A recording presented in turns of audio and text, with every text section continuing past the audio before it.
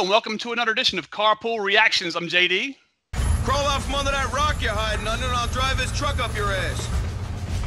How colorful. I'm Nils, and um, it's a pleasure to be here. I was going to say, as you can see, I have a guest with me today. I have got the incredibly talented vocalist from Dynazty and Amaranthe. I've got Nils Molin with me here today, who clearly spends a lot more money on hair products than I do. Ah, uh, yeah, you would be surprised how I'm little jealous, how man. little I spend, man. For, oh, even- wow. I would not have guessed at all. I just have No. to clear this up right off the bat since this question pops up so many times. I don't even fucking use shampoo, and maybe that's the secret. Don't use shampoo, folks. Free advice. Y'all hear that? Don't use shampoo. Wow. I'm jealous, man. I'm sorry. I'm just, you know, mine's getting kind of long. I gotta cut it soon. I, I can see that. Nils, I know your time is valuable. Number one, thank you for being here. I know you got a lot going on with the, your new album. Amaranthe is coming up in a couple of months, so uh, go ahead and get right to it. Now, I'm not going to ask you anything about your music. I'm sure you're tired of answering the questions of who your influences are and self-producing your own albums and all that other good stuff. We're not going to touch that. Right, right. I want to know if you were a superhero, what would your power be? Uh, that's a good question. Um, um, I guess like the power of flight to be able to fly everywhere is kind of tempting, but I guess the most useful would be to be invisible or something like that, or just insanely fast or whatever. You could pull a, a lot of shit off if you're invisible. you could do a lot of fun stuff. So I'll, I'm, I'll go with that superpower. Okay, invisibility is kind of interesting for somebody who's a front man. That's correct. I would not have picked that at all. Well, yeah, but it's the most fun one, I guess. Okay, cool. Just kind of turn it off and turn into predator invisibility. I like that. That's kind of cool. How about this one? If aliens from another planet landed tomorrow and told you that they don't have music where they come from, no concept of it whatsoever, what song do you play for them first? Wow. Uh, first song that you play to aliens. Well, mm, They've never heard of music. then I would play them. Uh, I would play them Gates of Babylon with Rainbow. Nice. That's where Start you ought to start. Yes, I love it. I love it. Okay, man, we're off to a good start. Same scenario. Those same aliens ask you to come back to their planet. Do you go? Why not? You gotta. You gotta be a pioneer, an explorer. So you gotta take your chances. I would go. Who That's would want to miss that? Well, that's the trick. Is you could be an explorer, you could be a lab rat. Right. You don't know which. So that's kind of okay. So you're you're you're all you're already off. You're going to explore and come back with some new stuff. That, that- that's Or maybe not come back at all. Who knows? But uh, sounds pretty exciting to me. He's a go-getter, that's for sure. I'll tell you what, man. I, I always get an interesting response to that, and everybody's the same way. Go for it. Yeah. Nils, if you were a wrestler, what is your entrance song? You ever watch wrestling? Um, not that much, but I, I'm of course familiar with the phenomenon. I said we, wrestling. we never had that. Uh, yeah, wrestling. Wrestling. Yeah. um, uh, that's a good question. It's got to be something your that. own song. No, no. Uh, it's got to be No something fire that sign for you. All right. um, it's got to be something that pumps you up. Um, Mhm. Let's see. Uh, I had a good song on top of my mind. Um, hmm. You could enter with something like really majestic, like maybe Kashmir with Led Zeppelin or something like that, or you could go for something that's just extremely heavy, or like Enter Sandman or something like that as well. A banger like that. Yeah. Yeah. Plus, it's got that cool intro. Exactly, that's what it You needs. drag you got build build up intro for it. Nice. By the way, I noticed you and I have something in common. I saw your Instagram post where you had Hans Zimmer. That's my man. That's my man. Indeed. Love it. yeah. I love it. So hey, good taste in music. So I mean, Hans Zimmer is like, uh, and uh, you take these uh, modern day film composers like John Williams and Hans Zimmer. They're they're really uh, the modern day equivalent of, of like the really big composers of of all times, like Mozart, Beethoven, and stuff like that. So big they time. ought to get more credit than they even have today. I, I think so. They're absolutely ingenious. especially Hans Zimmer. People don't realize how many movies he has scored. Like basically all of them. Yeah. and you know what? I hate it because the movie kind of didn't it didn't fare that well and got a lot of criticism, but the score from Man of Steel was one of my favorite works of his. Right, right. I since I didn't really like that film, I, I haven't really checked out the score, but maybe um, maybe I should do that. It's Thanks it's for the tip. tight. Oh, absolutely. Yes, absolutely. Nils, if you had your own talk show, who are your first three guests? All at the same time in the in the first in the episode. or- first okay. show. I guess there are two ways to go about this. Either you go for like a, a purely egoistic personal reasons, like you put your favorite heroes there or whatever, or you try to create something interesting for the whole world to see.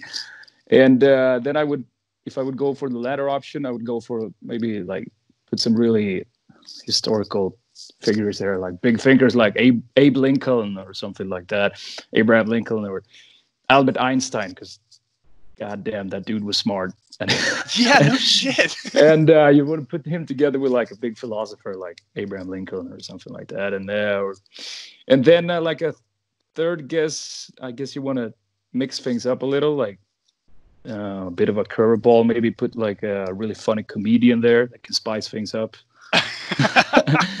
like somebody who's uh, inherently funny, like maybe. Uh, what about Will John Ferrell. John Cleese or yeah, or Ricky There- Gervais or Will Ferrell? That's a good one. That's a really good one as well.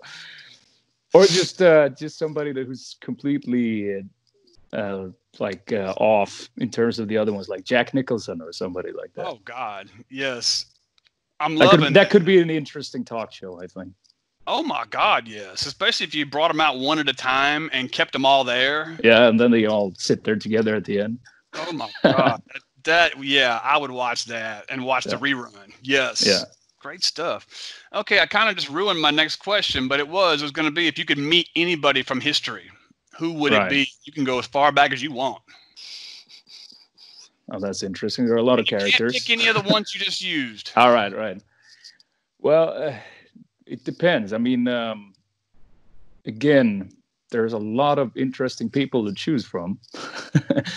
like, you would want to try to see what it's like if you could actually speak his language to sit down with a, a, crazy guy like Genghis Khan or like an old Viking king or whatever, or um, just sit down with. Uh, Socrates or Julius Caesar or whatever, like these really historical figures. But then again, I could also go personal and I would just sit down and, and talk to, um, I don't know, Ronnie Dio. That would be it for me. You'd be good with that one. yeah, yeah, I would. Okay. I like it. I like it. Genghis Khan kind of threw me off. That'd be. I mean, I, I'd But back you up know, you want to you want to start picking his brain. Like, who the who the fuck is this guy and what, what's going on up there from afar. from afar? Yeah, like, would like be close to pre- that dude. preferably put him in a cage first, and then you can start picking his brain. like Hannibal Lecter. Yeah, pretty much. I love it. I love it. Oh my gosh, I love it. All righty. So, Nils, if you could get away with one crime, scot free, what is it? Um, that's an interesting question. Um, would all you know, like uh, would always be tempting to uh, to do like pull off a bank heist that is like totally Ocean's Eleven or something like that. Like y'all's Maybe- video, Huh? like the boomerang video. Oh yeah, that's right. You know, not not exactly for the money or anything like that, but more like to actually be able to pull it off, like a really elaborate heist, and uh, well, and preferably nobody would get hurt, nobody would get injured, or it wouldn't cause that much trouble. But that kind of that kind of stuff, and then you can look back on it and said, yeah, I pulled that shit off. Just, just for the absolute thrill. Adrenaline, yeah, That thrill of the cool. That's Now, would it be thing. would it be a bank robbery or just a full blown heist that takes months to prep? It's got to be a heist. It's got to be, uh, yeah, months. We're talking months of preparation and Okay. yeah. And do you uh do you kill your comrades who helped so no one could tell, or do you all do you live happily ever after? I, I'd I'd uh, prefer to to stay out of killing my friends and, and or anybody actually in general, but uh, Yeah, no, I, I would do it ocean ocean style. That would just uh, we're a team and we we pull it off. Or yeah, no casualties, uh, man. All like stealth. a too fast, too furious kind of thing. That's, I love it. I love it. I love it.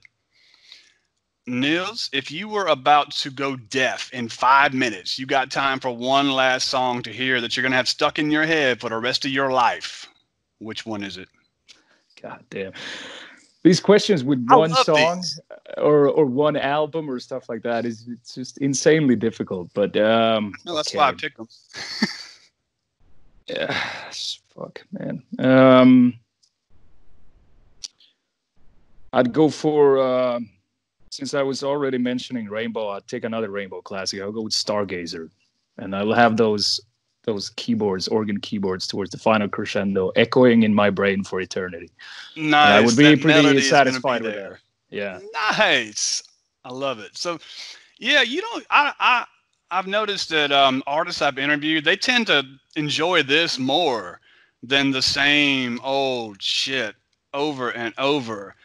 And Nils, just between me, you, and the fence post, nothing irks me more than when I watch an interview and they ask questions that you could Google. right, right. I mean, uh, it's all part of the part of the job basically, and comes with the territory that you have to. Uh, sometimes you do 10 15 interviews in one day and, and a lot of the people are going to pretty much ask the same kind of questions so you you basically answer the same thing over and over again and of course that gets tedious but it, it comes with the territory and and, Oh, yeah. and uh, but yeah it's a lot of fun too and, and really refreshing to just do something completely different it always Yeah. is By the way, I agree with that one guy that interviewed you a couple months ago when he said Hologram was the strongest track off the new album. I thought the same thing. That one really stood out to me, and not just because of how different it is, but it's structured to where it really shows off your range. right So yeah, okay, no more music. right no more music but yeah i thank you very much i i like that track too uh, we're gonna do a music video for it so I know I heard. I'm excited. yeah Ah, I can't wait till man things are gonna get back to normal soon. And I'm gonna tell you this before I get back to my last question. I'm gonna ask you. Great music is helping us all get through this. So Right. thank you for that. Of course, and uh, thanks to everybody out there who's making music. I mean, it, it is something for for everybody who has been staying in quarantine and, and not being able to do stuff. I mean, what better way to, to get through the day than to listen to music? I, I know it works for me, and I'm sure it works for a lot of people. So Absolutely. And I'm excited about the new album coming out from Amaranthe in a couple of months. And uh, yeah, links for the both of them are down there. If y'all haven't bought those, go ahead and get on that with the quickness. That's true. Last question. Maybe two. Depends on how much time you got. I got some time. I always get a different answer to this one. Who plays you in a movie about your life? Uh, God damn it. Um, mm-mm.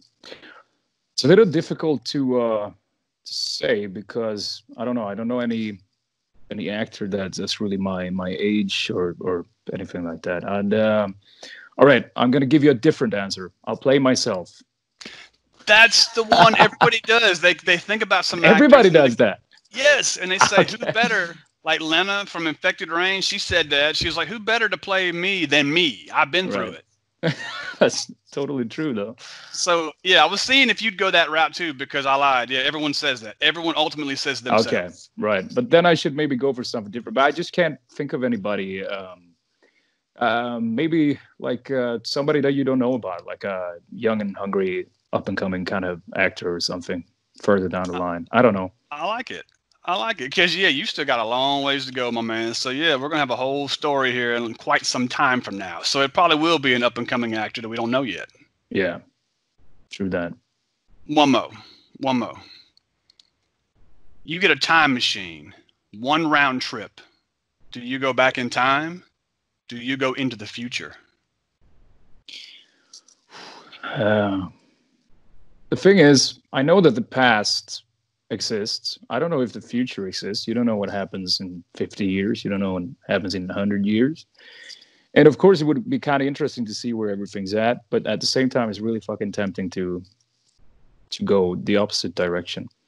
But since uh, we're uh, doing the pioneering kind of the go the distance mentality, I'll, I'll go into the future. And if there's nothing there, then so be it. It was worth a shot. I'll go uh, 100 years into the future. Let's see what's going on there. Okay. Now, would you be tempted to change something if you came across something? Like, no, if you go to the future and you see something that just you cannot live with, you're like, oh my gosh, this is horrible. I got to do something about it. Would you be tempted to change it when you came back? Uh, no, because uh, well, this is all philosophical stuff, but the the snowball effect on that could be potentially huge. And if you change one thing because you think it, it it's terrible, then you might end up causing something else that is even worse. And uh, for example, if you uh, if you would go back in time to try to stop a, a, a big war or a big catastrophe or something like that, um, I mean, you potentially would try to go back in time to stop World War II from happening, who knows if that might instead cause something even worse to happen. So, uh, no, no, uh, no fucking with past events, no fucking with future events. Um, Just eyes Yeah. on. yeah, just gonna be uh, spectating and watching and see what's going on. Yeah, that's what I would do. I would be tempted to change something. But you've all seen the films. It all it all goes bad when you try to do that, right? Yeah, yeah, you're right. You try and change something and you end up screwing Then- something up. Or you end up causing it in the first place. Yep. Because that's the paradox with time travel. See, that's what I would have to do. Is I would have to, if I did have a time machine with one round trip, I would say, here you go. I don't want it. I can't do it. It'd be too tempting. Give it to somebody else. Like I'd go back to 1969 and bet the farm on the Jets or something. Just- Yeah. I would something like that. Yeah, well, that's actually a good idea too. When you know, uh, when you know like some something to bet on, and you know the results beforehand, and you just bet a shitload of money, you can make make a good buck there. Maybe that's the safest option. Yeah, that might work. That might no, because then economically you might ruin somebody else in the process. Right, right. Somebody who is important, and then the whole economy collapses in a way that it never would have anyway. So yeah, Nils, we can't have any fun. it's uh, slippery slope. time Definitely. traveling. Be careful when you're time traveling, people. Oh, did you see that meme where it's got uh, Marty McFly and Doc, and he's saying, "Whatever you do, don't go to 2020." yeah, seen plenty of, uh, of similar memes with, with Oh, this year. God. Yeah, oh God, yes. it is what well, it is. But Nils, hey, I thank you so much for joining me today. I know our viewers are going to really enjoy this. Hopefully, the fans will as well. And man, best of luck with the album, Amaranthe's album coming out. It's an exciting year for you, despite Yeah. everything that's going on. So, absolutely, looking forward to seeing you back on tour very, very soon. I will knife my way front row center. my man. And hey, I'll go ahead and sign us off here. So leave a like, subscribe, leave a comment. I'm JD. I'm Nils. And always be yourself. Everybody else is already taken. Don't be a knave.